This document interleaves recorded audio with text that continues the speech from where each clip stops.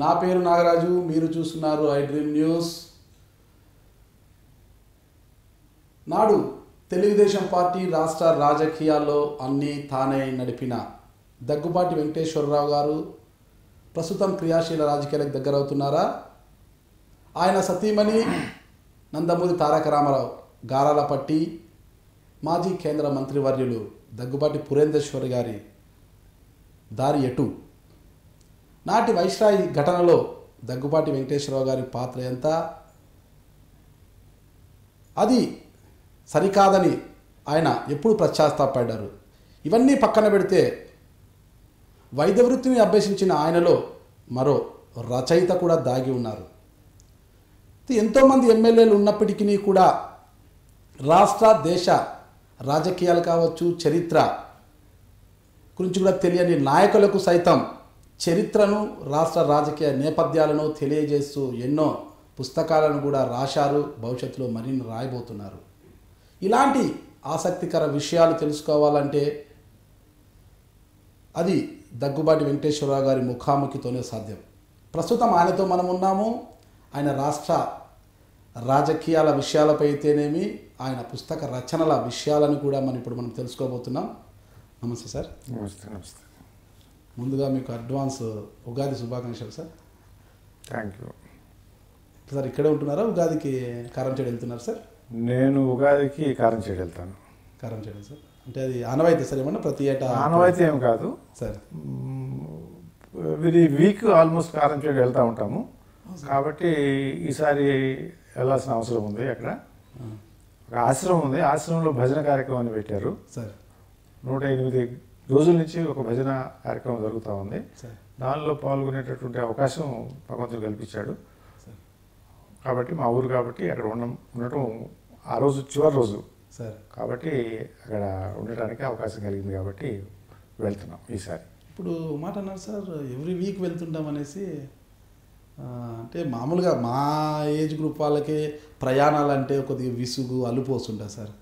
మీరు నాకు అవకాశం ఏంటంటే ట్రైన్. ఇక్కడ రాత్రి పదిన్నరకి ఎక్కితే తెల్లారి ఆరు గంటలకు దిగుతాను. అక్కడ రాత్రి తొమ్మిదిన్నరకి ఎక్కితే ఇక్కడ ఆరు గంటలకు దిగుతాను. పడుకుంటాము. కాబట్టి ఇది గత అనేక సంవత్సరాలుగా నేను చేస్తున్నట్టు కార్యక్రమము.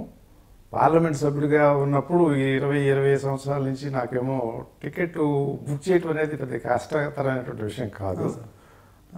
రెండవ విషయం రెండవది ఏంటంటే ఇది ఈ ముప్పై ఐదు సంవత్సరాల్లో కూడా దాదాపు ఎవ్రీ వీక్ కానీ టెన్ డేస్ కానీ వెళ్ళటం అనేటటువంటిది అలవాటు అయిపోయినట్టుంది కాబట్టి అది శ్రమ అనేటటువంటిది కాదు బాధ్యత అనేటటువంటిది ఉంటుంది. దానిలో ఆనందము కూడా నేను అనుభవిస్తూ ఉంటాను.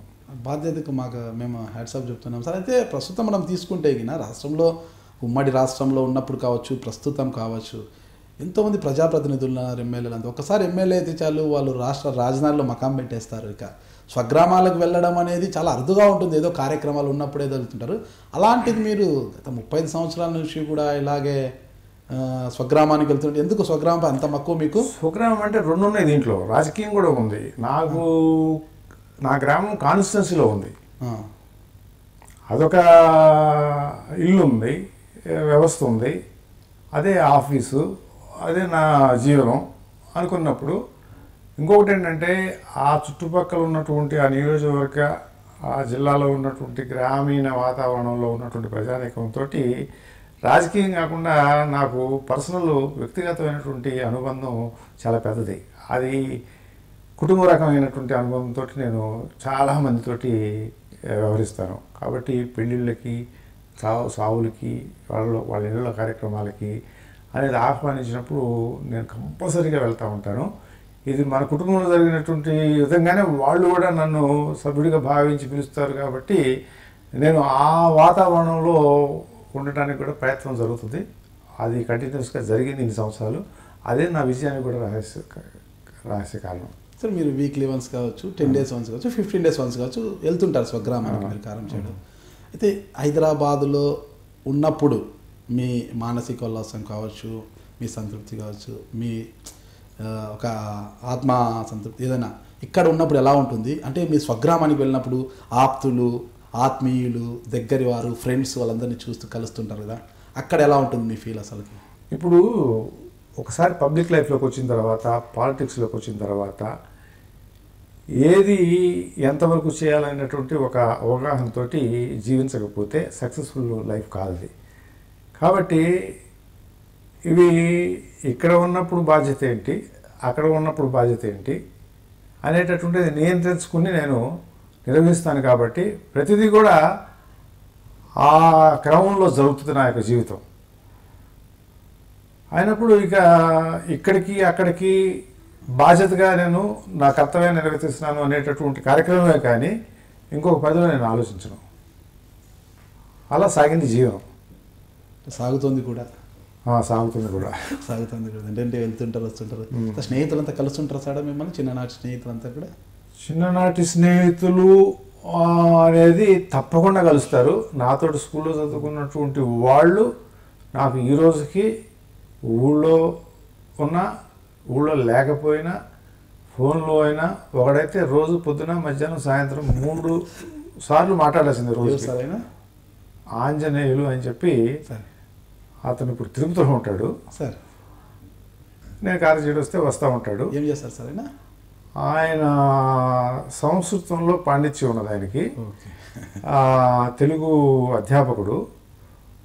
తర్వాత సాంస్క్రిట్ యూనివర్సిటీ తిరుపతిలో కంట్రోలర్ ఆఫ్ ఎగ్జామినేషన్గా ఉండి ఇప్పుడు తిరుపతిలో శ్వేత అనే ఆర్గనైజేషన్కి శ్వేత. అతను డైరెక్టర్. గతంలో భూమన్ చేశారు. దానికి. అంటే ఊరు వెళ్ళినప్పుడు ఫ్రెండ్స్తో అంతా కూర్చొని సరదాగా భోజనం చేయడం అట్లాంటి చేస్తుంటారు సార్ బాగా ఈ మధ్యకాలంలో మేము ఒకసారి కారంచేడు స్కూల్లో చదివినటువంటి వాళ్ళు. అందరం కలిసి అమెరికా నుంచి వచ్చారు ఇద్దరు ముగ్గురు. ఇక్కడ పక్కన గుంటూరులో ఉన్నటువంటి వాళ్ళు అందరినీ పిలిచి ఇంట్లో మేము అందరం పోయి మళ్ళీ ఆ స్కూల్కి వెళ్ళి కాసేపు అక్కడ స్కూల్లో కూర్చుని మళ్ళీ ఇంటి దగ్గర భోజనం చేసి జరిగినటువంటి రకంగా మేము ఆనందించాము. పూర్వ విద్యార్థుల సమ్మేళనం అనమాట మా క్లాస్మేట్స్ ఉన్నంత. వరకు అతను ఊళ్ళో మంగళ పని చేయొచ్చు. లేకపోతే ఇంకో చోట బ్యాంకులో కరెక్ట్గా చేయొచ్చు చేస్తూ ఉండొచ్చు. లేకపోతే కంసాలి పని చేస్తున్నటువంటి వ్యక్తులు ఉన్నారు. అయితే ఆ రోజు మా అనుబంధం లేకపోతే ఎట్లా పిలుచుకునేటటువంటి విధంగా ఉండేదో ఆ ఫ్రీనెస్ ఉంటుంది మన దగ్గర. అంతేనండి మీతో చదువుతూ మధ్యలో మానేసి కుటుంబ పరిస్థితుల కారణంగా మధ్యలో మానేసి ఈరోజు మీరు చెప్పినట్లు మంగళ పని చేస్తుండొచ్చు ఇంకో పని చేస్తుండొచ్చు ఏదైనా కూడా స్నేహితులు స్నేహితులే. వాళ్ళు కూడా స్నేహితులు, అంటే వాళ్ళకి నన్ను గౌరవిస్తూనే ఉంటారు. బట్ ఆ స్వతంత్రం నా దగ్గర. అంతే నేను ఒక స్థాయికి ఎదిగాను కాబట్టి అంత ఫ్రీగా ఉండలేకపోవచ్చు కానీ మనం పిలిచినప్పుడు అరే మన మన వెంకటేశ్వరరావు అనే ఒక ఒక తత్వంతో మాత్రం వాళ్ళకి నా దగ్గర నుంచి వెళ్ళేటప్పుడు కనపడుతుంది. బాగా చనువుగా ఉండే స్నేహితులు వస్తారు మీతో అంటే ఇప్పుడు అంటున్నారు కదా. మరి. అనుకోవద్దండి ఎరా వెంకటేష్ బాగున్నావా? ఏరా. వెంకటేష్ అనే. ధైర్యం మాత్రం చేయరు. Sir sir. నేను ఒక అతను అమెరికాలో ఉండే ఉంటాడు. అతను పెద్దప్పుడు రిఫైనరీ ఫ్యాక్టరీకి హెడ్ అక్కడ. Sir sir. అతను మేము రూమ్మేట్స్ కూడా తర్వాత కాలేజీకి వెళ్ళినప్పుడు కూడా లైలా కాలేజీలో రూమ్మేట్స్ ఉండేవాళ్ళము. వెంకటేశ్వరరావు అని అనగలను కానీ ఏరా అనేటటువంటిది మాత్రం అప్పుడు లేదు ఇప్పుడు ఉండదు. ఆ రోజున కూడా ఏరా ఏరా అనేటటువంటి విధంగా ఓకే సార్. ఉండేది కాదు. ఊళ్ళో కొంచెం పెద్ద కుటుంబంగా ఉన్నటువంటి నేపథ్యంలో ఆ గౌరవం ఉండేది. బాగా క్లోజ్గా ఉండే మనిషి అంటే ఏదో నేను నేను తిట్టినా పడినా పడేవాళ్ళు కూడా ఉంటారు. బహుశా ఆంజనేయులు అనేవాడు అటువంటి వాటిలో మొదటి వ్యక్తి అవుతాడు. ఆయన ఉంటాడు సార్ అంత చనువుగా మీతో ఆంజనేయులు చెప్పాను కదా ఆంజనేయులు తిట్టినా కొట్టినా ఆ, రోజుకు ఒకసారి తిడతాను. ఆయన తిడతారు మిమ్మల్ని? ఆయన తిట్టడు ఆయన చెప్పడానికి ప్రయత్నం చేస్తాడు నువ్వు నువ్వు చెప్తాను? అప్పర్ హ్యాండ్ మీరు. మళ్ళీ మధ్యాహ్నం సార్ అంత అప్పర్ హ్యాండ్ మీరు? ఆయనకి ఎందుకు?